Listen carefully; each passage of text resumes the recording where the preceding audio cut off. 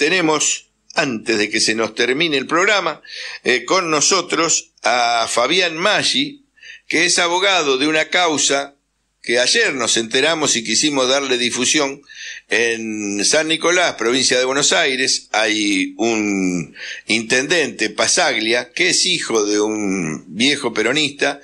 Él subió por el peronismo a la intendencia y, y, después terminó en Juntos por el Cambio, estas cosas extrañas que se tienen, está acusado de varias cosas, entre otras, no respetar un fallo de la Corte Suprema de Justicia de la provincia de Buenos Aires. Maggi, ¿cómo le va? Muy buenos días, o ¿cómo te va? Néstor Picone, acá en Radio Rebelde AM740, te saluda.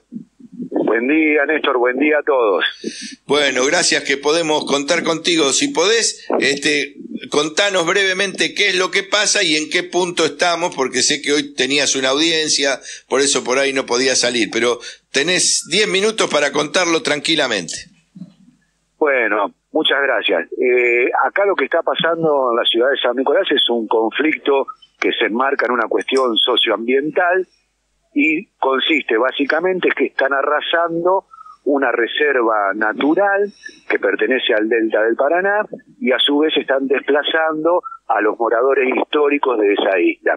Eh, como vos bien decías en la introducción, ya hay un fallo de la Corte que nos dio la razón en el sentido de que eso es una reserva natural, donde hay bosques nativos y humedales y que no puede ser violentamente modificada como lo estaba haciendo el intendente local.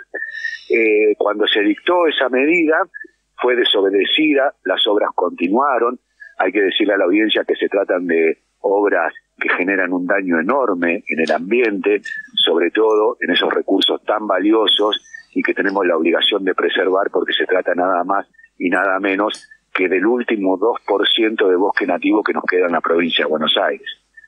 No es un error el dato, es exactamente eso lo que nos queda de bosque nativo originario, es tan solo el 2%. Y el intendente local se da el lujo de eh, meter topadoras en la isla y arrasar al día de hoy con casi 120 hectáreas de bosques nativos, lo cual es un crimen ambiental, nosotros lo calificamos como crimen de lesa humanidad porque estamos ante un derecho humano fundamental como es el derecho a tener un ambiente sano y equilibrado. Eso a grandes rasgos es el conflicto que estamos atravesando y escucho tus preguntas y tus inquietudes al respecto. No, no, un poco para que la gente sepa, esta es la denuncia, esto es lo que está pasando, no lo vas a ver en grandes medios, ojalá alguno lo tome, este, para que se sepa esto, el 2% del bosque nativo de la Argentina y encima se lo sigue agrediendo 120 hectáreas en una isla frente a San Nicolás, la decisión, desoyendo la Corte Suprema, la toma este, el, el intendente Pasaglia, que, bueno, tiene muy malos antecedentes en coherencia política. Eh, ¿Qué se puede hacer? ¿Qué están haciendo? ¿Cómo se contrarresta esto? Además de difundirlo, y ojalá logremos, hace un ratito cortaba con Julio Urien, este, que acabamos de tener también una mala noticia desde Río Negro, porque le reconocieron a Lewy todo el poder para manejar el lago escondido. Digo, tendremos que ir preparando una movilización a San Nicolás. No sé qué otras cosas se pueden hacer desde la justicia, eh, la los nicoleños. ¿Cuáles son las tareas que, van con las que van a enfrentar esta situación? Tal cual. Nosotros obviamente trabajamos eh, en, un, en, un, doble aspecto, ¿no? Primero desde el reclamo social, es decir, la gente que acompaña eh, lo que está sucediendo se manifiesta en contra, obviamente, porque son hechos que se aprecia fácilmente que tienen gravedad institucional, ¿no? Porque estamos hablando de un funcionario público de la máxima autoridad de la ciudad que no acata un fallo nada más y nada menos que de la Corte Suprema de la provincia de Buenos Aires. Y vemos también ahí una debilidad muy marcada en el Poder Judicial que no puede hacer cumplir los fallos que emite. Eh, no puede o no quiere. Entonces ahí es donde estamos trabajando en lo que me toca a mí desde lo legal, haciendo las denuncias penales correspondientes, exigiéndole, acabo de salir en este momento, de la UFI 1 de San Nicolás, pidiéndole al fiscal, a la señora fiscal en este caso, que actúe conforme la ley se lo ordena y que detenga el grave daño ambiental que está sucediendo en la isla Ballestero del partido de San Nicolás.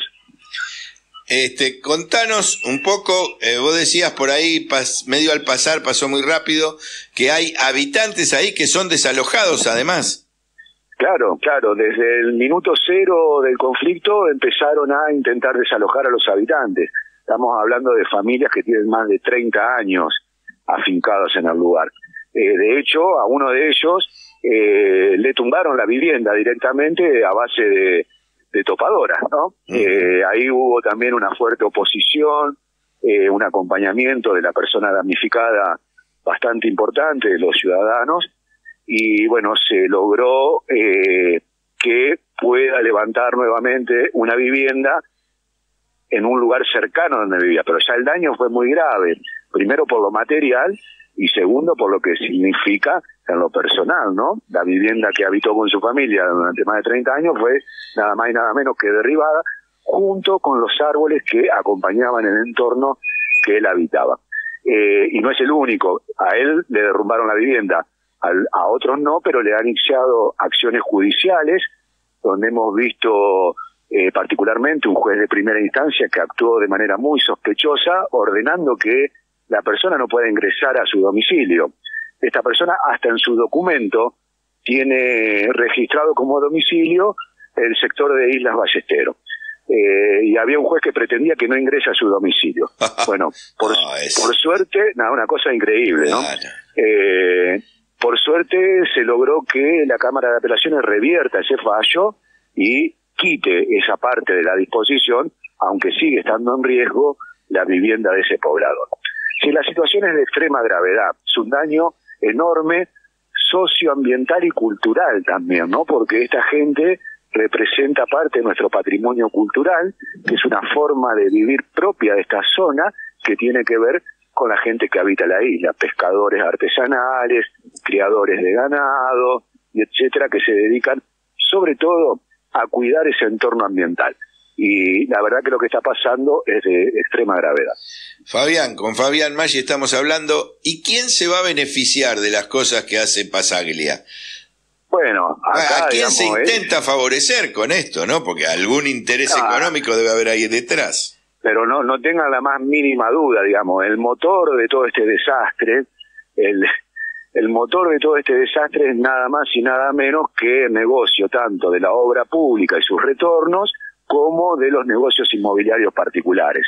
Eso es lo que agita al monstruo, eso es la razón de tanto daño y obviamente eh, beneficia no solamente de manera ilegal, sino que beneficia a unos pocos. Afecta a toda la ciudadanía en sus derechos, en su patrimonio público y beneficia a un grupo que ilegalmente se hace de dinero a través de estas obras.